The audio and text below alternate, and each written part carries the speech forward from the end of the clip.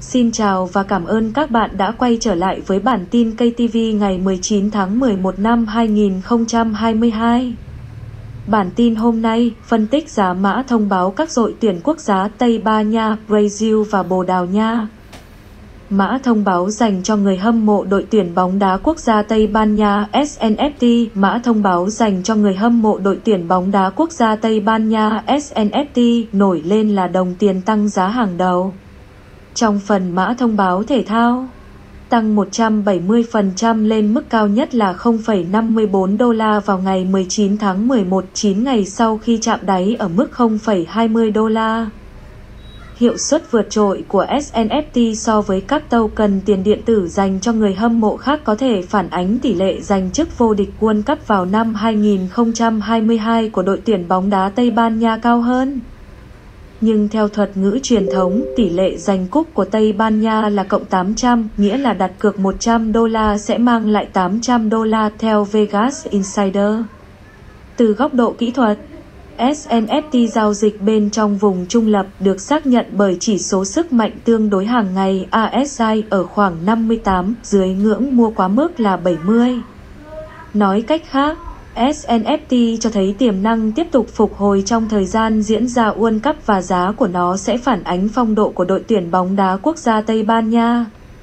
Chẳng hạn, các chiến thắng liên tiếp dành cho Tây Ban Nha có thể kéo mức định giá của SNFT lên trên mức kháng cự hiện tại là 0,538 đô la để có khả năng tăng lên mức cao kỷ lục gần 0,718 đô la.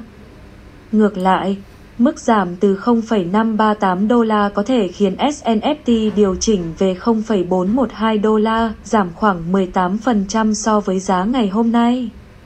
Tây Ban Nha sẽ gặp Costa Rica tiếp theo vào ngày 23 tháng 11 trong bảng E. Tiếp theo là trận đối đầu với Đức vào ngày 28 tháng 11. Mã thông báo dành cho người hâm mộ đội tuyển bóng đá quốc gia Brazil BFT Mã thông báo dành cho người hâm mộ đội tuyển bóng đá quốc gia Brazil BFT dường như là mã thông báo dành cho người hâm mộ. Được yêu thích thứ hai trên thị trường tiền điện tử. Giá của nó đã tăng 130% chỉ trong 9 ngày, từ 0,45 đô la vào ngày 10 tháng 11 lên hơn 1 đô la vào ngày 19 tháng 11. Brazil là đội được yêu thích nhất để vô địch World Cup năm nay với tỷ lệ cược cộng 350 trong giới cá cược truyền thống, nghĩa là đặt cược 100 đô la sẽ trả lại 350 đô la.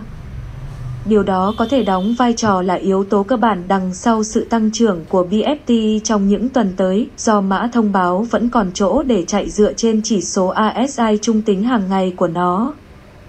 Kể từ ngày 19 tháng 11, BFT dự đoán mức đột phá trên 1,05 đô la, mức kháng cự hiện tại của nó, hướng tới mục tiêu tăng giá ngắn hạn ở khoảng 1,16 đô la. Một đợt tăng giá kéo dài có thể xảy ra nếu Brazil vô địch World Cup vào ngày 18 tháng 12, mở đường cho giá 1,31 đô la tăng 25% so với giá hôm nay. Liên quan cộng đồng Metaverse với người dùng 3M bổ sung tiện ích với sự hợp tác của FIFA World Cup 2022 thương hiệu ngược lại, một pullback sẽ có nguy cơ đẩy BFT về mức 0,82 đô la, mức hỗ trợ vào tháng 10 năm 2022 của nó.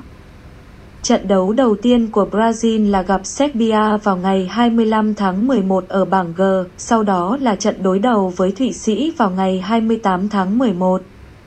Mã thông báo dành cho người hâm mộ đội tuyển quốc gia Bồ Đào Nha Po Mã thông báo dành cho người hâm mộ của đội tuyển quốc gia Bồ Đào Nha Po là đồng tiền hoạt động tốt thứ ba trong đợt bùng nổ mã. Thông báo dành cho người hâm mộ đang diễn ra tăng khoảng 100% lên 6 đô la vào ngày 19 tháng 11 9 ngày sau khi chạm mức thấp nhất là 3,10 đô la các nhà cái truyền thống đo lường tỷ lệ thắng của Bồ Đào Nha tại World Cup là cộng 1.600. Nghĩa là đặt cược 100 đô la sẽ mang lại khoảng 1.600 đô la. Po hiện kiểm tra mức kháng cự là 6 đô la, với chỉ số ASI hàng ngày gần 64, chỉ thấp hơn 6 điểm so với ngưỡng mua quá mức của nó. Một đợt giảm giá quyết định từ mức giá trần nói trên có thể khiến Po chú ý điều chỉnh về mức 4,80 đô la, mức hỗ trợ của nó từ tháng 9 đến tháng 10 năm 2022.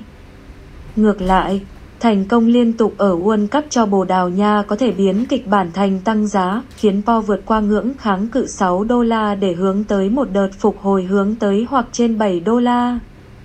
Các quan điểm và ý kiến bày tỏ ở đây chỉ là của tác giả và không nhất thiết phản ánh quan điểm của KTV Channel. Cảm ơn quý vị đã xem hết video.